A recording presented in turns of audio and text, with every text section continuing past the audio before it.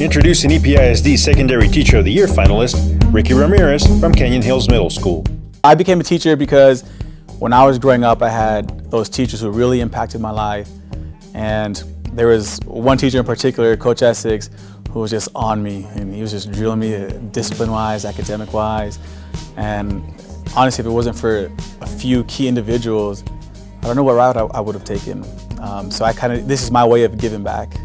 And I, I tried it out uh, after the Marine Corps and just became something that I loved and I saw it as my calling. Uh, I have sixth, seventh, and eighth graders. My goal is to prepare them for the next level, which is high school. And I think beyond the academic side, my goal is to make sure that my students are confident enough to know that they can succeed and it doesn't matter how smart you are because I never saw myself as a very smart person.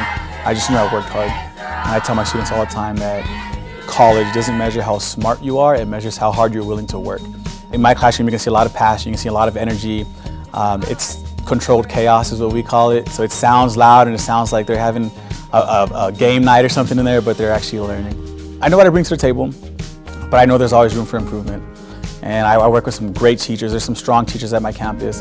Um, I learn from all those teachers and I try to take something um, that they offer and I'll, I'll, bring it to, to my toolbox, if you will. And my goal is just to keep getting better and to never, never be complacent, never be satisfied, never think I know it all because there's always room for growth. And the moment that I stop growing and the moment that I think I know it all is the moment that I should stop teaching.